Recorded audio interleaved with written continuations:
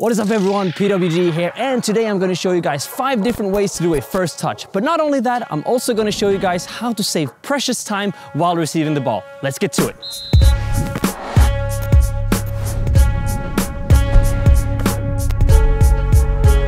Before we even get into the first touch, it's important for you to know what to do with the ball after you control it. Are there any teammates or opponents nearby? Because this will ultimately decide if and how you're gonna receive the ball. Stop it dead or directional.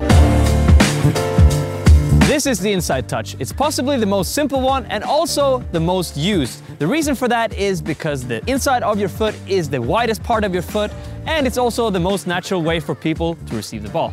To gain control, meet the ball with your foot and cushion it by moving your foot backwards. This will decrease the speed and ultimately stop it dead. Now you can look up, scout your surroundings and make your next move. If there are opponents coming your way as the pass reaches you, you can use the pace of the ball to get out of that situation and create space for yourself. Angle your foot to change the direction of the ball, cushion the ball so you don't lose control, and then accelerate. You can either tap the ball to the side, between your legs, or you can step forward, twist your body and tap the ball with your back foot.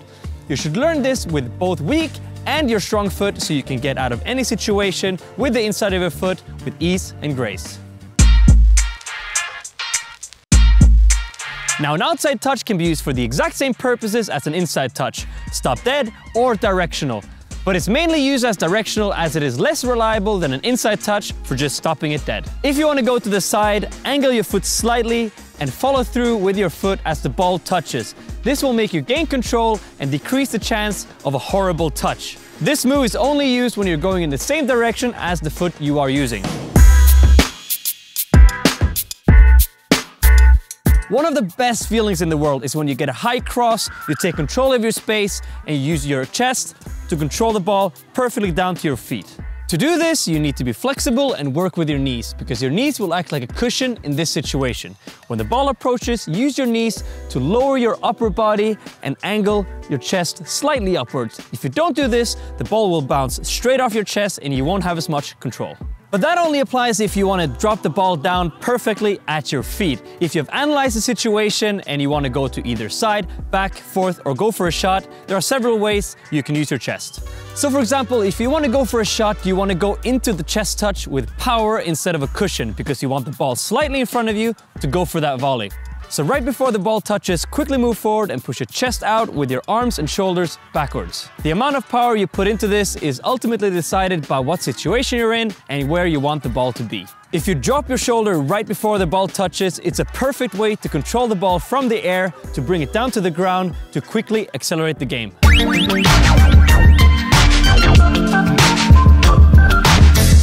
Been too lazy to just take down the ball with the inside of your foot, or you think it's just for normies? Well, I'll show you how to do the side scorpion. Order now is just $19.95. Call now. Basically, when the ball approaches your strong foot, step away from the ball or duck underneath it. At the same time, lift your leg up with the outside of your foot facing the ball. When the ball touches, either keep the foot firm or add more power. The ball will either drop down or rainbow over your head, depending on how much power you put into the touch. Now, is this effective and foolproof? Mm, no, but it is really cool though. Now, how about we spice things up with the cheekiest first touch ever done on the field, the Neymar touch. To do this, you need perfect timing and a lot of confidence. As the ball starts approaching, jump with your body slightly twisted with your weak side towards the ball. Cross your legs and touch the ball with the inside of your foot. Now take control of the ball as the ball falls down and wait for the applause and the internet cloud.